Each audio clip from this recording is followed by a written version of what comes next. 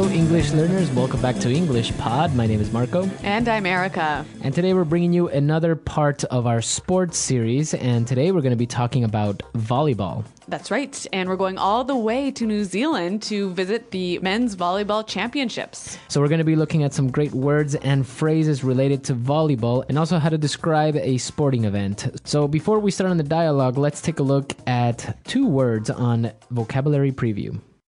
Vocabulary preview. All right, we're going to hear both of these words in the dialogue. Now, the first one encounter, Encounter. an exciting encounter. All right, so if we have an exciting encounter, it means we have an exciting. Meeting of two people or two teams or two groups. If I say I had an incredible encounter last night with my best friend. Um, you met up your best friend with your best friend and something happened. Okay, so that's what an encounter would mean. Yes. Looking at our second word now powerhouse. Two powerhouse teams. All right, so we have two powerhouse teams, China and Brazil. That's right.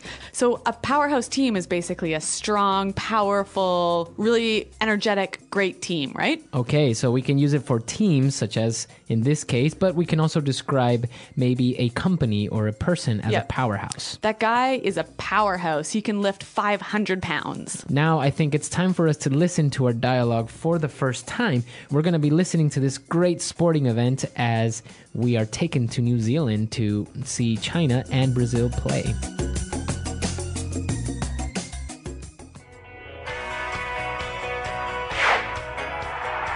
It's a beautiful day here in New Zealand at the Men's Volleyball World Championship. My name is Rick Fields, and I'm joined by the man with the plan, Bob Copeland. Thank you, Rick. We've got a very exciting encounter ahead of us today as two powerhouse teams, Brazil and China, face off against each other and try to qualify for the next round. Without a doubt, both teams are in top shape, and this will prove to be a competitive match.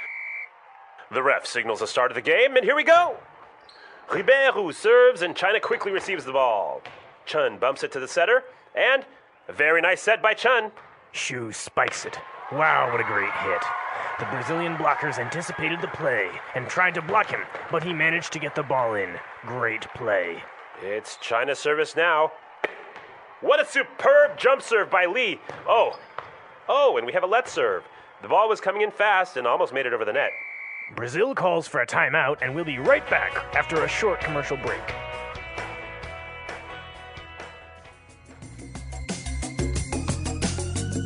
Well, sounds like a pretty exciting encounter between these two countries. Very good teams, and both of them, as they mentioned, are powerhouse teams. Well, why don't we take a look at some of the vocabulary that we came across in this dialogue? We're going to be focusing on volleyball words here in Language Takeaway.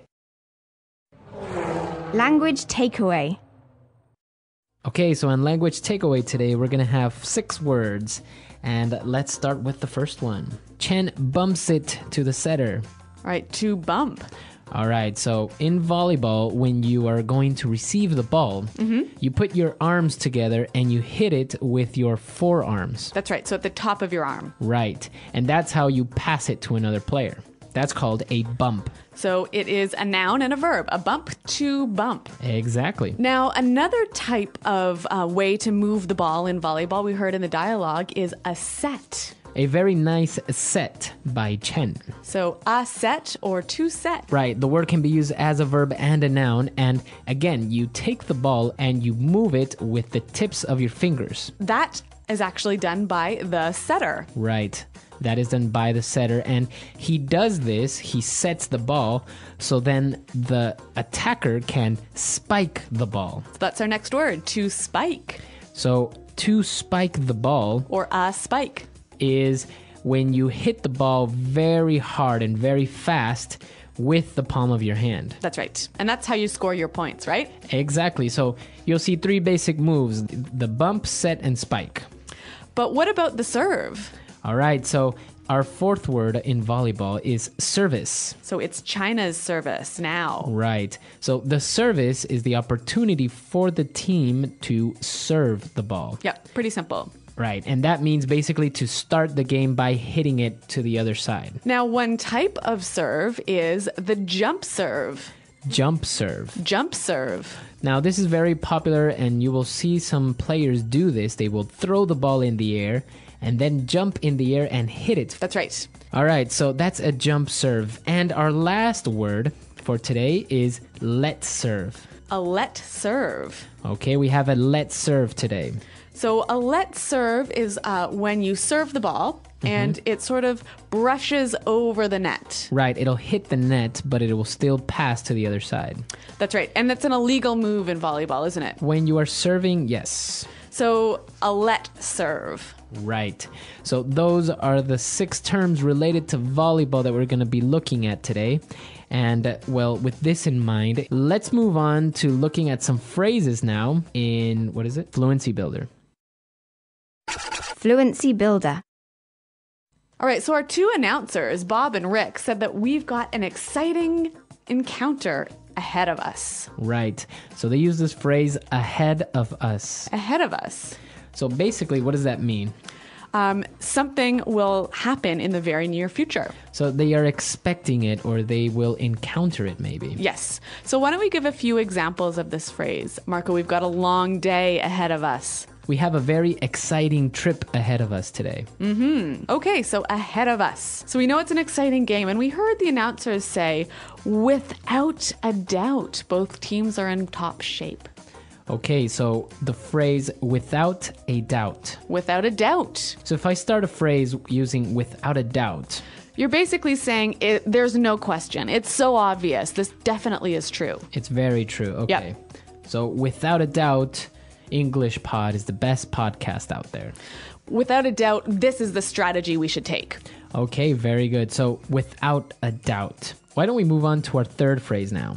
This will prove to be a competitive match. So let's look at the phrase will prove to be. Something will prove to be. Okay, so before we get into it, why don't we listen to some examples? Example 1. And I think he will prove to be the greatest president we've ever had. Example 2. The new HR policy is proving to be a waste of time. Example 3. We were worried that we were going to get laid off, but our fears proved to be untrue. Okay, so when something will prove to be, it will show itself to be this thing, right? It will demonstrate. Mm-hmm. We will see it. We will see for sure how it will be. And now for our fourth phrase, a very simple one, but very common in sports commentators Yep. or when you're watching a game. Mm-hmm. You'll say, great play, Great play. Great play. A great play. Now we know play is usually a verb, right? Mm-hmm. But here it's acting as a noun. A play is basically a move in a sport or a game. So when somebody says a great play, it means all the succession of moves and passes and hits to make the point. Yep. So it was a great play. And that you can use that for any sport. Right. So why don't we listen to our dialogue now for the second time, and then we'll come back and talk about this very popular sport, volleyball.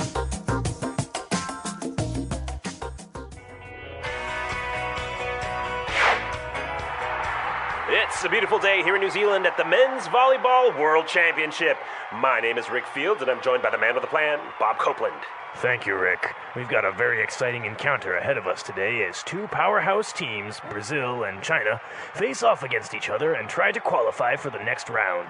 Without a doubt, both teams are in top shape, and this will prove to be a competitive match. The ref signals the start of the game, and here we go. Ribeiro serves, and China quickly receives the ball. Chun bumps it to the setter, and a very nice set by Chun. Shu spikes it. Wow, what a great hit. The Brazilian blockers anticipated the play and tried to block him, but he managed to get the ball in. Great play. It's China's service now. What a superb jump serve by Lee. Oh, oh, and we have a let serve. The ball was coming in fast and almost made it over the net. Brazil calls for a timeout, and we'll be right back after a short commercial break.